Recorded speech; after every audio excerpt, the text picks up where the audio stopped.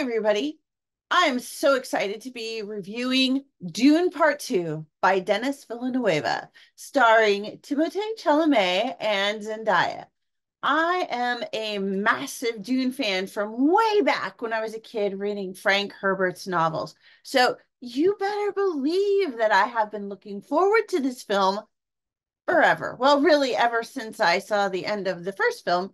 But you know, it does Dune Part 2 fall into that sequel trap, or does it live up to expectations?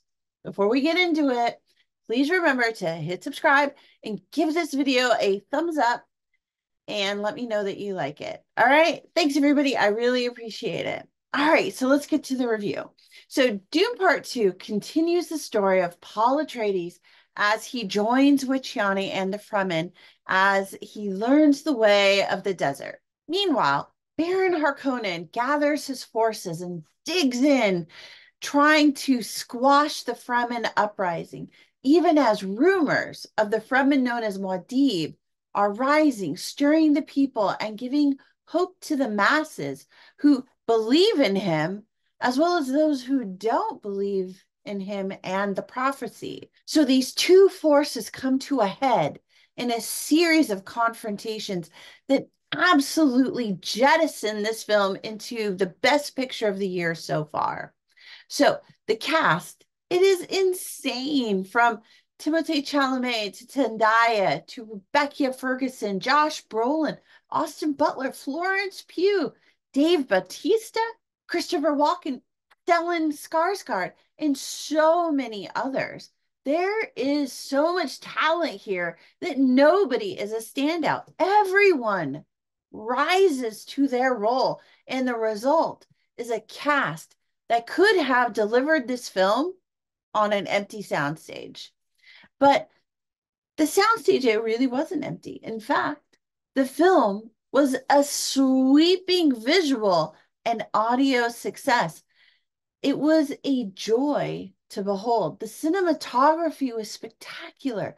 The color palette, the costume design, the sweeping sandy dunes and the glorious blue skies above, they all added to the visual sense of the planet Arrakis.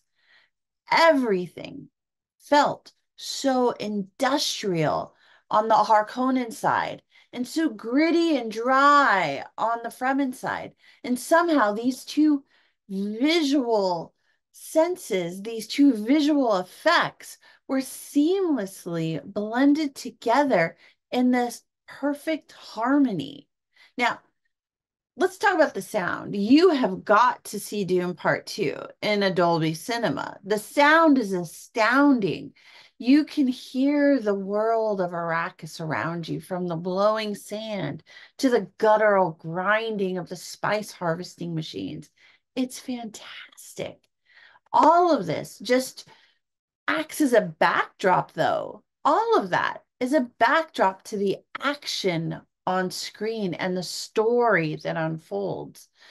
The giant machines, the battles, the worm rides. This film delivered everything on top of everything that you were expecting. You get the full scope of civilization on the planet as well as within the wider universe, as it brings the Emperor and the Bene Gesserit and the specters of the other power players and families into the story. It's really starting to pick up that, that kind of grand sweeping feel. And what worked especially well was the deepening of Paul's relationship with the Fremen and the desert as he learned how they lived and how they survived. And his relationship with his family becomes even more strained because of what what his mother's doing and what his mm, all right spoilers can't say that. Um what his family's doing. And the thing is it really does put an extra layer into the story itself especially where the prophecy is concerned and where he is trying to choose his own path. Uh, but it gets more and more and more difficult as the conflict kind of comes to a head. His internal conflict, though, is always really front and center. And his character growth that we see in the books isn't really given quite the same depth in the film. But, you know, I don't think that's as big of a deal because you have Timothée Chalamet, who really just overcomes that obstacle through sheer talent. I mean, he acts it out, even if there, even if there aren't all these extra little scenes kind of showing his moments of character growth. And, you know, as he gets, as he goes through the story, as Paul Atreides goes through the story, and you see him kind of saying one thing and and trying to move in that direction and yet forces of the world kind of pull him in another direction. You get this really uncomfortable kind of tearing feeling inside where you can see him starting to split. And that's really interesting. And i think Timothée really does a great job with that and i think zendaya's reaction to that as Chani is perfect like they work really, really well together on screen. A great duo. And some of the best parts of the film really are the battles, the scenes in which the Fremen go up against the spice harvesters and the Harkonnen fighters are absolutely epic in scale. The retribution is epic in scale. And the hand to hand combat at the end, it's superb.